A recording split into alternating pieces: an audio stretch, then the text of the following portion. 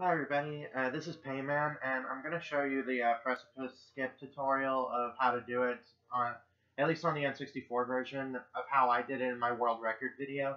Uh, it might work differently on the PC, but uh, I'll show you how I did it.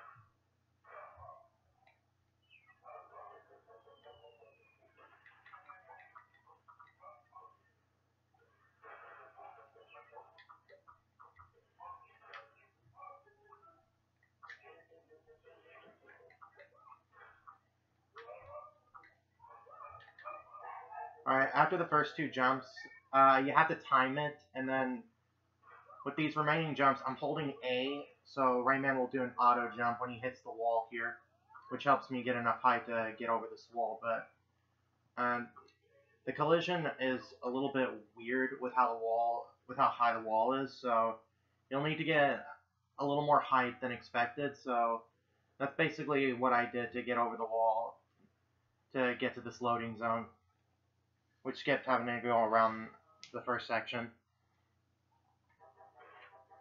So, to be specific, what I did was, uh, as soon as I grabbed onto the purple lum and swung across, I turned Rayman around to shoot, and I had to do two manual jumps and time it, like, near the first frame when I grabbed the purple lum.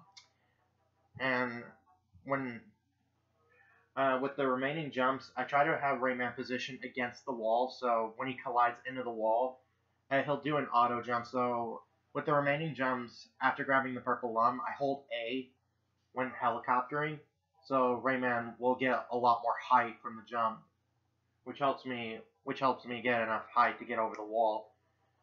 So yeah, that's how that that skip works in my world record. I I hope that'll provide a better understanding with how it works. So, uh, and hopefully with this tutorial, it'll help a little better on the PC version if people are wanting to try this trick. So yeah, that's how that trick works. Bye.